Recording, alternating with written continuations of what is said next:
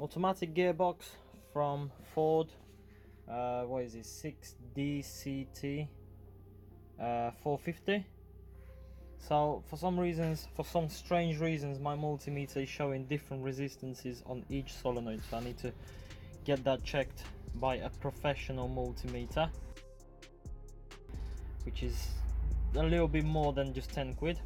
So I'll get that checked over. They all should have around 3, 3.5 ohms. But mine is showing 70, 15 or 27, some strange numbers. So I'll get that checked. That already been all apart um, and cleaned. So now that's the part that does the gears um, that we all cleaned as well. Some washers that's the old filter which I'll talk about in a minute. Um, and that's the new filter. Um, so my plan is to replace this filter. Yeah, covered with this stuff. Um, so my plan is to replace this filter without taking the gearbox apart. And as you can see here I've done significant damage but that's because I had to remove it um, brutal way. So um, because this bolt this hole here for the for the bolt from the back because when you look at the the go underneath here. So that's what you can see. So the filter is here. That's the hole for the oil to the pump and that's the hole here um, for the bolt. So if I'll be able to slightly gently grind the top of the tube from the filter down it will be slightly shorter and I'll be able to just squeeze it in put it that in the hole and secure it with the bolt. Should be good then. Um, so yeah that's that's my plan. Because obviously I don't want to take the whole gearbox out and then apart to change the filter.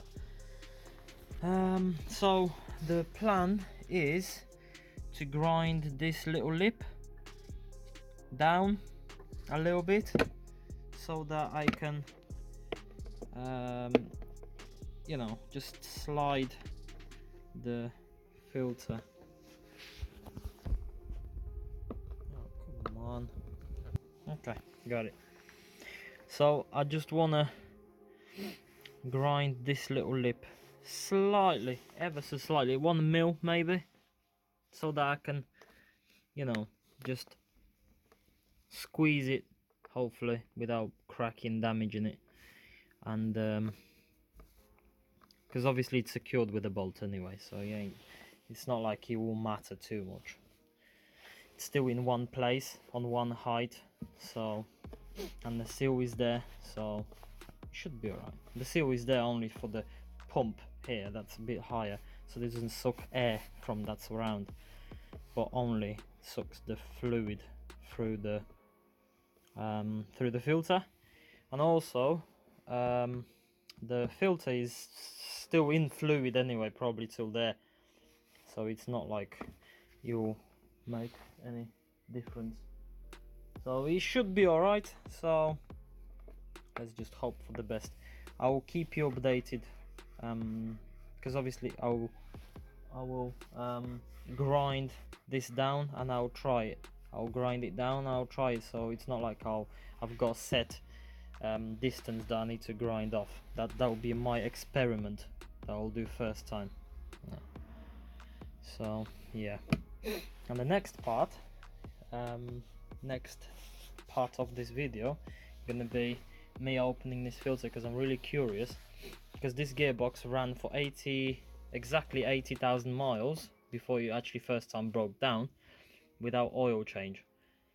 So yeah I'm really curious of how bad it is inside. Obviously there are loads of plastic bits inside but once I'll take it apart we'll have a look here for instance on this part of the of the filter how it looks how it bad how bad it is.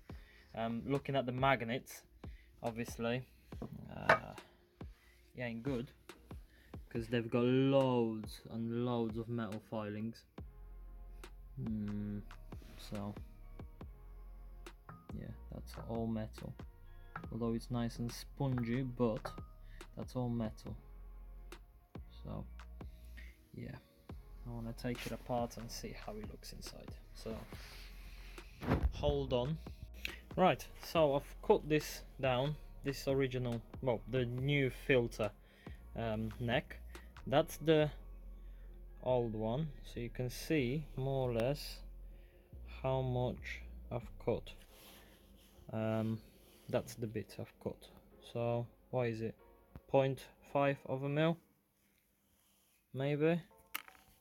Should yeah like around that the thickness of the of the blade basically. So now the plan is to put a little bit of lube on there. Um, and just see if it fits. Hopefully it fits right I've literally got no place to mount my phone um, so that I can show you how I'm fitting the filter. So I think what I'll do I'll just hold it in my hand. Um, I'll try to just somehow maybe I just loads of wires and no room. I'll try to fit the filter with one hand but that is yeah. Oh, you see? And that's how basically the the height of the seal that's how much I need to squeeze the filter in order to push it into where it's supposed to be. And that's a problem because the filter is actually is not straight. As you can see where it goes where the filter here there this part where the tube is. It's actually at the bottom it's actually higher than on the beginning of the filter. It would be all the way around it would, be no problem because I could just slide that in. But here there's a problem. And I don't know exactly how to overcome that issue because damage the filter it's a game over.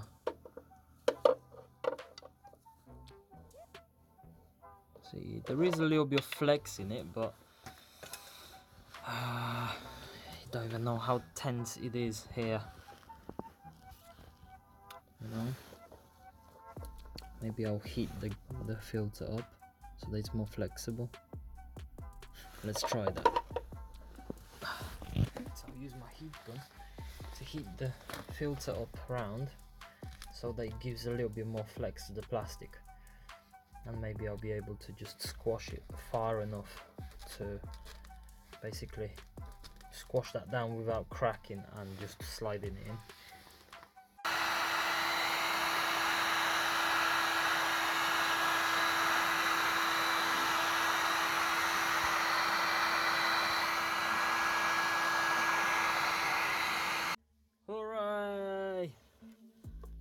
Voila!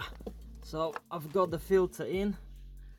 Um, basically all you need to do is just loads of heat, loads, and I mean like you know proper hot. If I would have a, my temperature gauge, I would probably tell you that it's hard to touch this plastic still, but obviously it's very important because you don't want to crack uh, the plastic. So edges and the main part where this uh, the oil neck is that has to be boiling hot. And obviously I've used my um, what what is it? Breaker bar crowbar lever bar. Um, but this end obviously that goes underneath here. Pushing the filter down like that. And then on top of that I've put my sort of long um well not extension fir tree sort of tool you know on top of that and to give it more leverage. And then the little one um, I've used at the back here to push the filter in place because obviously you need two hands. So as you can see the filter is in nice. So time to just put the bolt in. And happy days so more or less that's how you change the filter. Shame i couldn't mount the phone anywhere here because it would actually be a nice short well the short nice clip for you to see how how I did it. As you can see you can change the internal filter of the 6 DCT 450 gearbox. So you can change the internal filter without um, opening it up. So happy days and um, obviously this is not recommended for people who ain't got a clue about mechanics. So I'll just tell you that now because it's easy to damage stuff. But if you have a little bit of mechanical knowledge and you are re really into mechanics like these little things like changing oils filters and stuff then yep this is definitely thing worth trying doing yourself.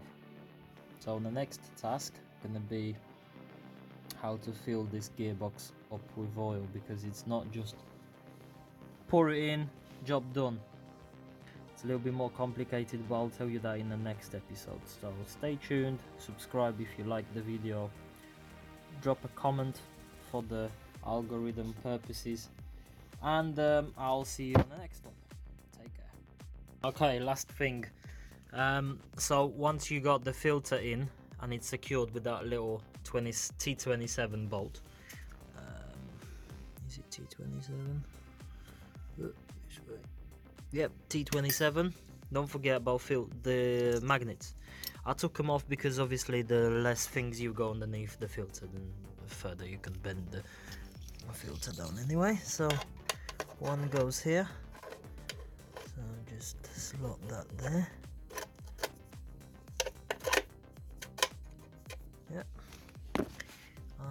The other one goes just here. don't forget about them because they are very important especially in this gearbox. So yeah now it's time to take the uh, heat exchanger oil cooler however you want to call it and uh, time to wash that as well inside